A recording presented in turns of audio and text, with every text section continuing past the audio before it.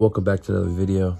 So in this test tube is a new species which I got from um, an ant friend. So can you guys guess what kind of ant species in here? This is what I'm be adding to my collection of ants I have. You should be joining the new colony. Can you guys guess? Hit the icon button right there to vote. I think these ants are pretty cool and pretty amazing. These ants are also so cool and so interesting to me. I just love the way their head looks and just the way they are and what they eat and the way they forage and the way people say they're like harvester ants, but they're not really harvester ants, just the way they harvest their food, which they already have harvest food into their test tube. But yeah, I just think they're so cool and so interesting. They're one of my favorite ants, not including all the other favorites, which I'm gonna hopefully be able to, to take care of and get in the future. And not the ones I have now, but these are definitely one of my favorite ants and I'm very, very, very happy I was able to get uh, two queens and a couple workers of these guys. For now, I guess, here they are. Here's a, here's a couple video shots of them. They are, AKA big-headed ants. And now here's just a video of them. As you can see, they're right there.